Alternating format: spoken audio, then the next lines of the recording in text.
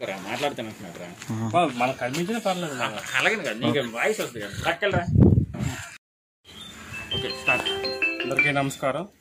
మరి ఏదైతే పెద్దలు చెప్పినట్టు మానవ సేవే మాధవ సేవ అన్నట్టు ఈరోజు నలభై రోజుల గురించి ఆసియా యూత్ ఫౌండేషన్ చీపుపల్లి పట్టణంలో మన గ్రామీణ ప్రాంతంలో మరి ఏదైతే కేంద్ర ప్రభుత్వం రాష్ట్ర ప్రభుత్వం విధించిన లాక్డౌన్ కోవిడ్ నైన్టీన్ వైరస్ కారణంగా ఈ లాక్డౌన్ అనేది విధించింది. ఈ లాక్డౌన్ సమయంలో ఎంతో మంది ఫ్యామిలీస్ వారు రోజువారీ కూలి పని చేసిన వాళ్ళు వాళ్ళు వీధిని పడ్డారు.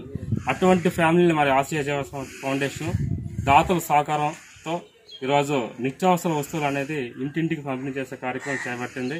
మరి ఇంతో కాకుండా అలాగే ప్రజలకు ఈ కోవిడ్ నైన్టీన్ వైరస్ పై అవగాహన కల్పిస్తూ ఇలాంటి సేవా కార్యక్రమం చేపడుతుంది. మరి మా యొక్క సభ్యులు మరి యూత్ అందరూ కూడా సహకరిస్తున్నారు.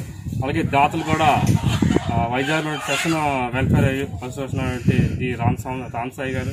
ఆయన కూడా మాకు ఇలాంటి ఫో- ఫోటోలు పెట్టడం చూసి ఇటువంటి కార్యక్రమాలు చేయటం అందిస్తున్నారు.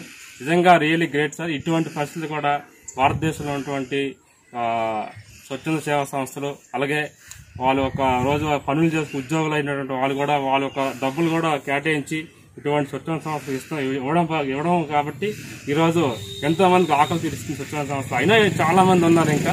ఇంకా స్వచ్ఛంద సంస్థ ముందుకు వచ్చినట్టయితే ఇంకా మన కేంద్ర ప్రభుత్వం ఈ మ- ఈ నెల మే మే పదిహేడు వరకు కూడా ఈ లాక్డౌన్ విధించింది.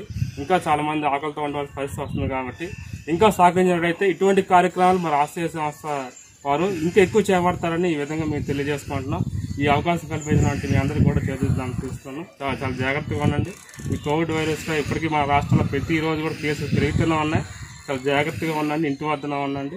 ఈ చేతులు శుభ్రం కడుక్కోవడం అలాగే మగానికి మాస్క్ పెట్టుకోవడం బయటకు వెళ్ళడం మాస్క్ పెట్టుకోవడం వంటి జాగ్రత్తలు తీసుకోవడం అలాగే దూరం సామాజిక దూరం పాటించి ఈ కో- కోవిడ్ వైరస్ని మనం తరివేద్దామని చెప్పి విధంగా తెలియజేస్తున్నాం